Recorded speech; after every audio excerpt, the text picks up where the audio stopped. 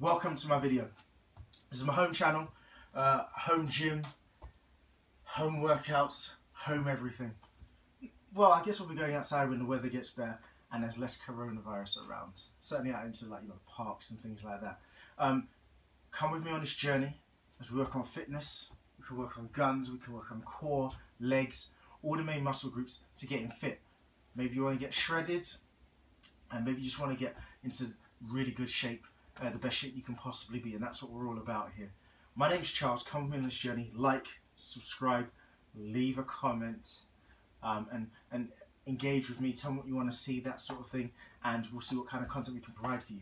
Uh, just to introduce you, um, this is my home gym. Uh, I've got some basic equipment uh, overseen by none other than The Rock. So he's going to keep me honest. Hopefully you can keep me honest too. Um, we're going to do some basic workouts and see how we get on. Uh, let's start off with a nice warm up. Um, a really good one is uh, stair climbers to kind of keep uh, get the body going, uh, get the blood pumping um, around the body, uh, get you nice and loose before we then move into some more exercises. The kind of exercise that I like to do is um, some light calisthenics because I'm not advanced, um, some weighted calisthenics, uh, so you know body weight type exercises, but also uh, also uh, weights as well. So as you can see here, I've got my weight set up, and I think that's really good to attack certain muscle groups uh, and develop core strength. Uh, so without too much further ado, let's get into it. So roll out the mat and let's get into some stair climbers. This is a bit like a plank. It really works the core, but it works multiple muscle groups. So we're talking about your legs uh, and the muscles that it takes to stabilize the core when you're doing um, a plank in this kind of horizontal plane that your body sits in whilst doing your stair climbers. Just do those for about 30 seconds. Try and get warm. Now you could do this for a minute, which I usually do, uh, but just for a little warm up for time's sake, um, we'll just show it for 30 seconds, but you can work on this for a minute. Work along with me if you like.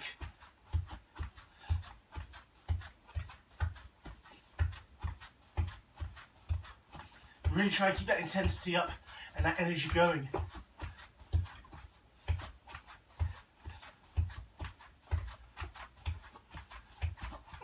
Feel the stretch. There we go. Okay, that feels good. We're gonna go for two sets, because uh, two sets is the minimum I do of anything. If you're time pressed, I feel two sets is okay.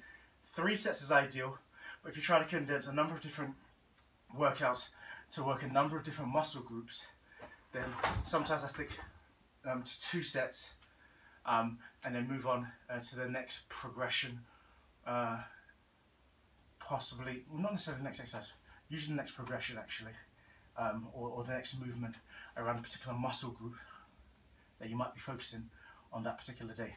Alright, let's go again.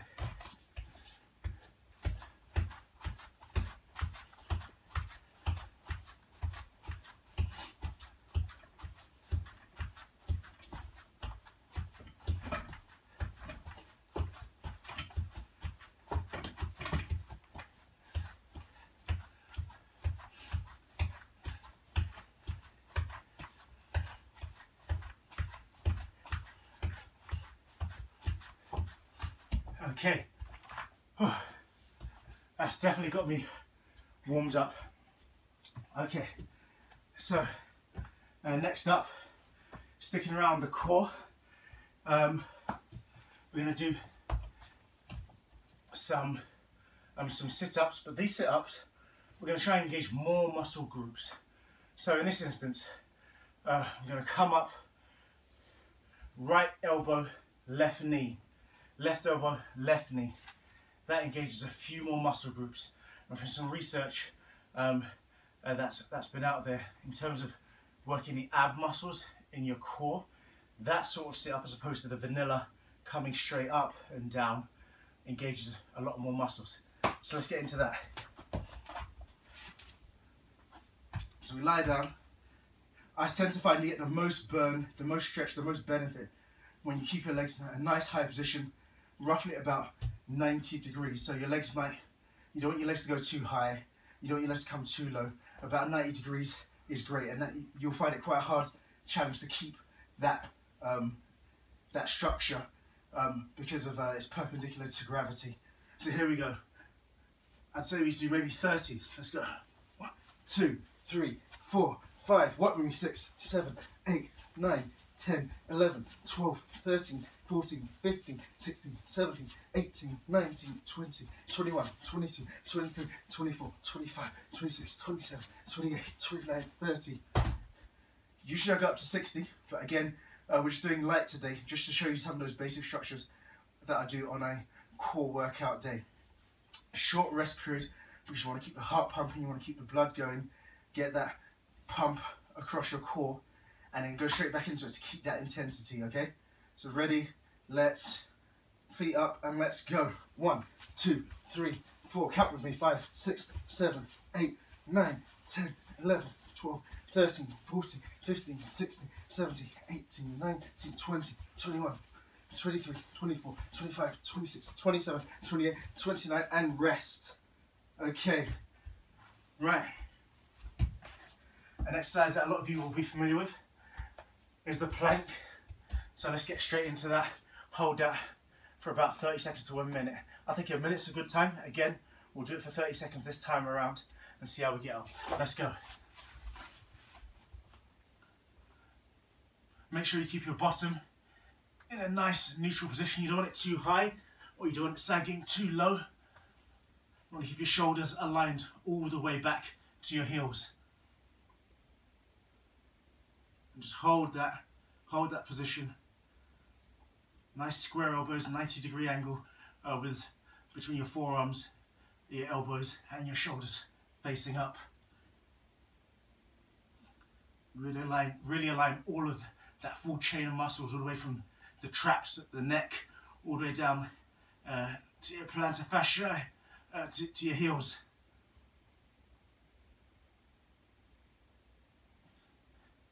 Really feeling it.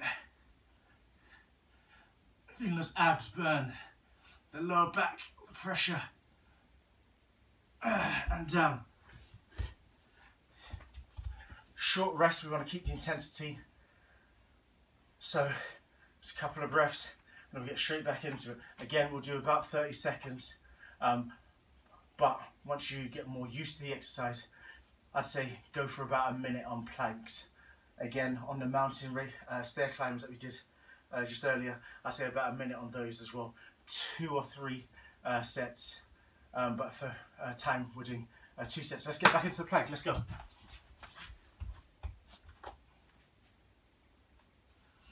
You can count to a thousand, or you can say Mississippi if you want.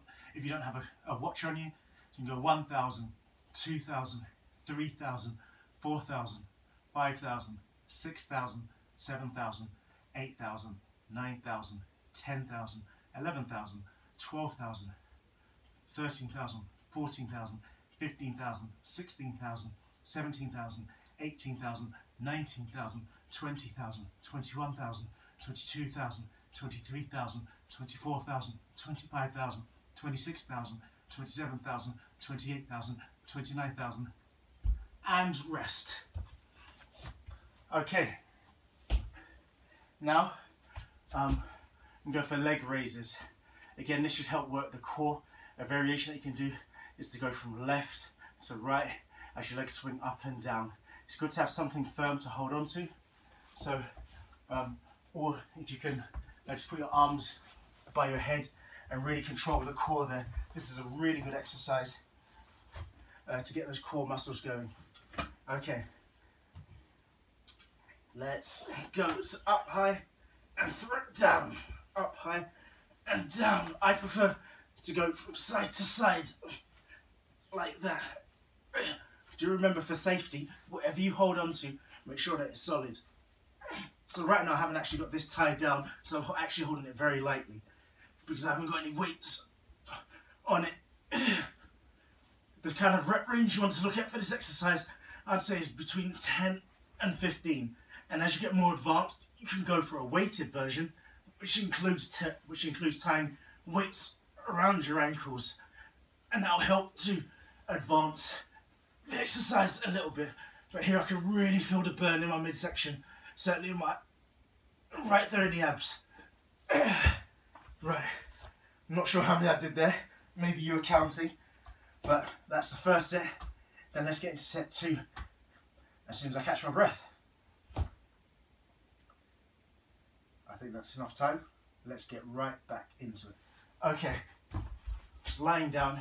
Like I said, if you can secure the arms, that's always good because it helps with the leverage of going up and down. And I like to alternate from side to side, but you can go just straight up and down if you prefer. I find going side to side works just a few more muscles, uh, particularly um, to, to the side of your abs. Ready and let's go. If you've got a partner that's working out with you, they can play the role and stand up behind you. You can hold onto their legs and to progress it a little bit harder if you don't have ankle weights is they can actually push down your legs as you go up and down and then you control that push and not let your feet hit the ground. That's a really good progression that I've done a few times. And I'm feeling that burn.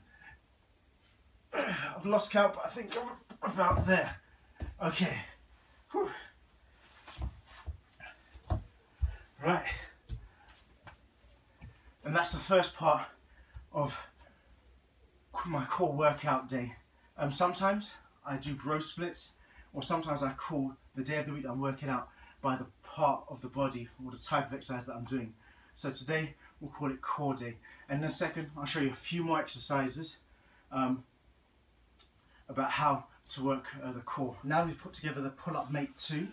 Uh, the pull-up mate 2 is a great home station. It's really good, um, folks. It's, it's, really good for uh, your pull-ups, but also these two poles here uh, only come down this far, so you can actually take them off to reduce the height uh, to do dips. But today we're doing part two of our core workout. Um, it takes about five minutes to put together. Um, you can got you've got wide arm grip, you've got shoulder width grip if you're doing your pull-ups. You can do your obviously closed grip, chin up grip with your hands uh, knuckles facing out. Uh, but you can also do your neutral grip as well, which I find most easiest in terms of doing my pull-ups. But today, because we're working on the core, um, what we're going to start off with is leg raises. We're going to try and go as vertical as possible, keeping those legs as straight as possible, uh, which I struggle to do. Um, then we're going to come up to L sit, um, and then we're going to do uh, leg raises. Each one you want to do uh, up to eight reps. As you fatigue, maybe you find you do less, but you do what you can do uh, for each particular uh, set.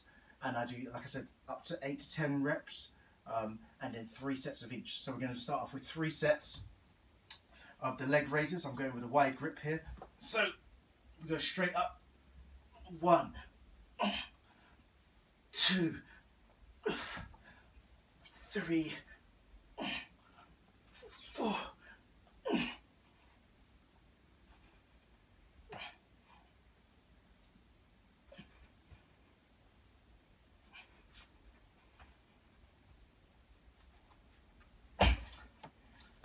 So that's eight, three sets of those. Then we move to an L sit. What I like to do is vary up the grip. So I'm also working some other muscles and I'm engaging those other um, connecting muscles also. So I went for the wide grip on the first one. Now we're to do the L sit 90 degree legs. And for this one, I'm going to use uh, a grip which works more the biceps uh, as well as some of the back muscles. But again, because we're doing core, it's all about the activation that we're getting right around here, around uh, around the middle section. Okay, ready? Up as high as you can up to 90 degrees. Two, three, might help to point your toes.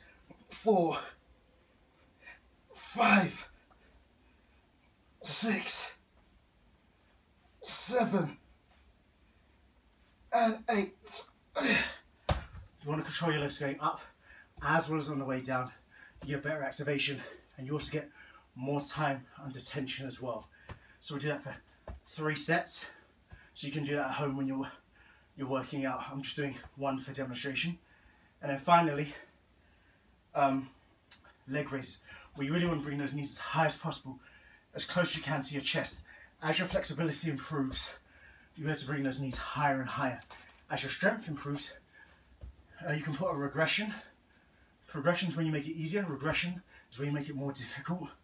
So the regression you could use here, you can use something like dumbbells or weighted um, or ankle weights. And what you do is you put them between your legs. Make sure you do it in a nice safe way. I'll use another grip again. I'll use shoulder width pull-up grip. And what you do is you bring those knees right into your chest. One, two, three.